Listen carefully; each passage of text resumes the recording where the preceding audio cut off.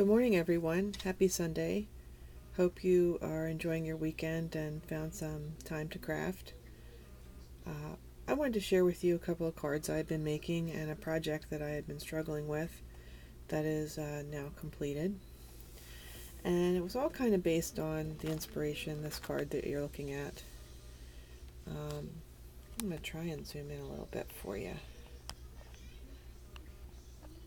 Okay.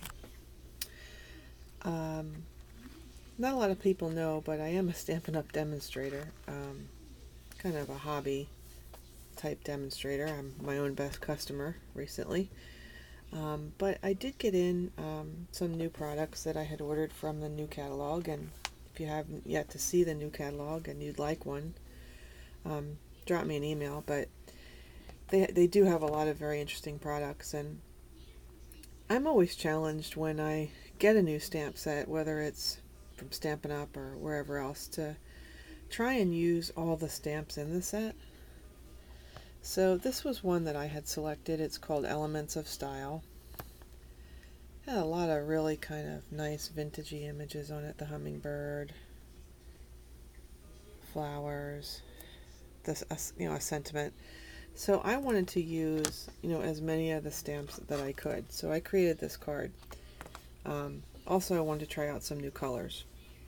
So this was made because I had this scrap of chocolate chip cardstock that was actually 5 by 11 so I just made a 5 by 5 card um, the background here this stamp is uh, is the flowers from Element of Style and it's the new ink color which is called uh, crumb cake and I have to tell you I wasn't you know I loved kraft cardstock when it was that color, but I was a bit concerned if I would really utilize a light tan, but I really, I love that color.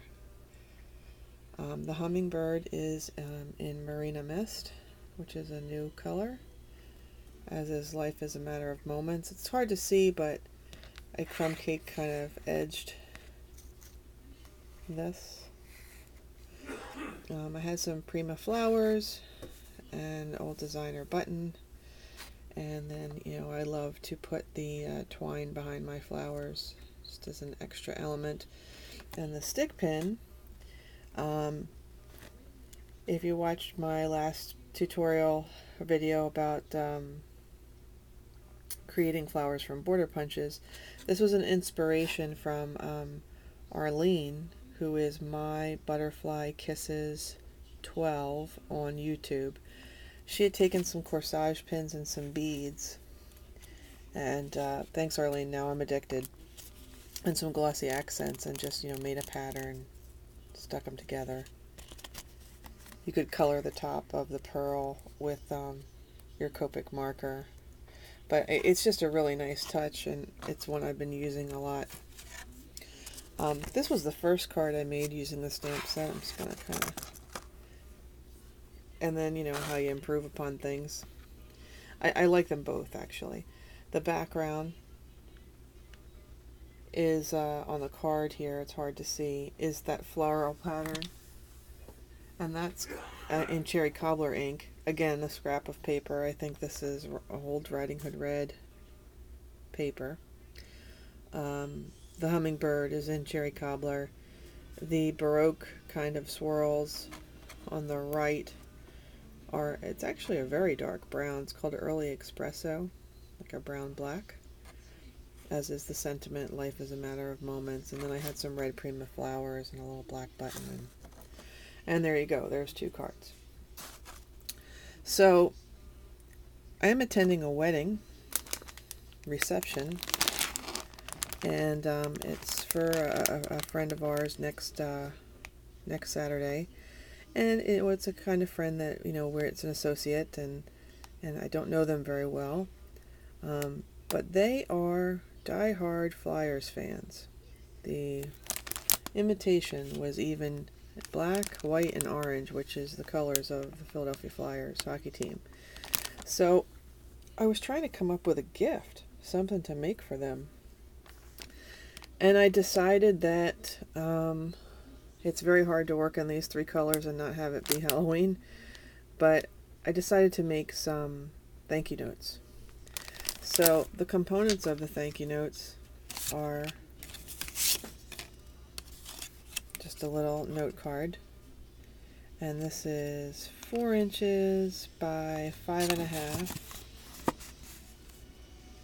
So four inches wide by five and a half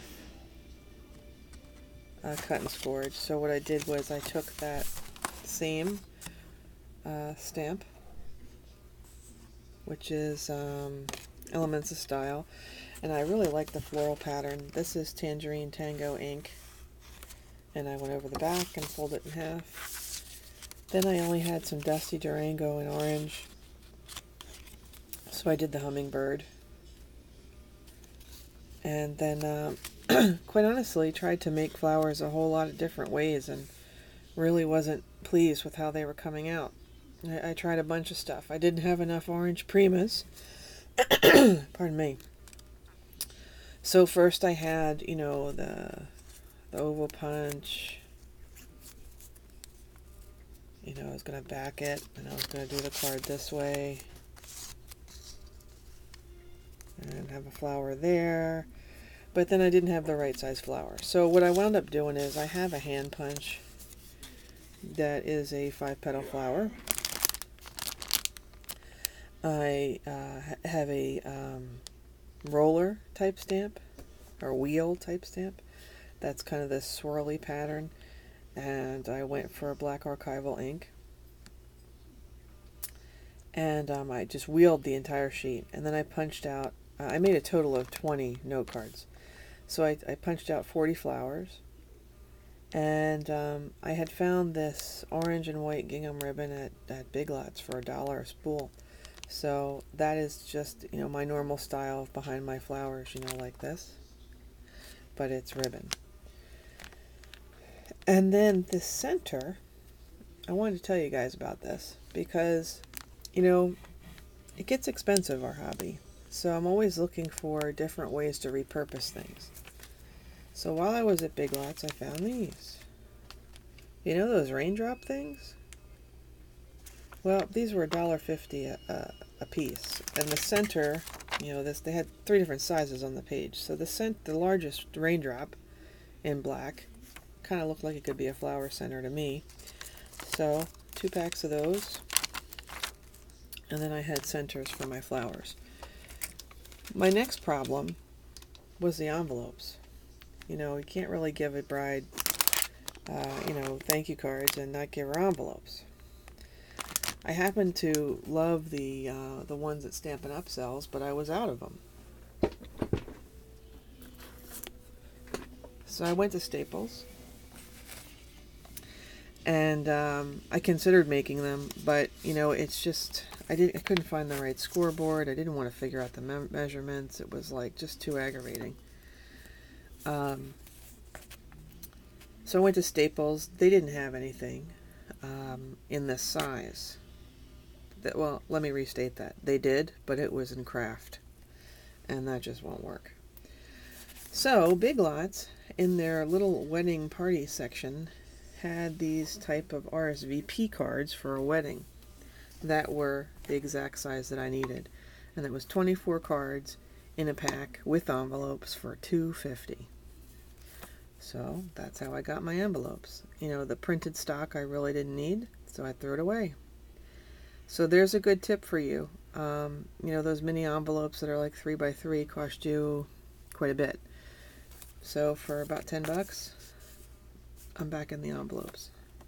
So I hope you enjoyed. I hope you're having a wonderful Sunday. Thanks for watching, and I hope you get to do something creative today. Take care.